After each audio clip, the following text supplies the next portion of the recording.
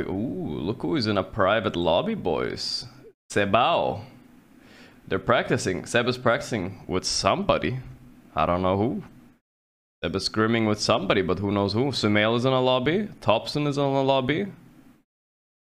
Hmm, I don't know, fam. I don't know. Charlie's in a lobby. Nigma Charlie, guys, confirmed.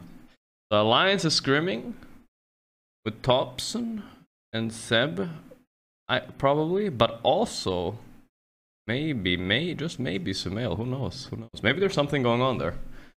Maybe there's something going on. Who knows? Leaked? Ah, it's just assumptions. It doesn't mean anything. Ammar? Where's Ammar? I couldn't see if he was scrimming or not. ATF? ATF is also scrimming, yeah. So he's still probably scrimming with Sumail then. Maybe there's two scrims going on at the same time. It is about scrimming hours right now. I'm surprised they're scrimming now though. Why would you scrim now if you're not qualified to the major? It seems kind of pointless because there's gonna be a patch after major. I mean, that is like, if it's not, then holy shit, dude. People should riot. Feels like kind of stupid scrimming now. you. Hmm.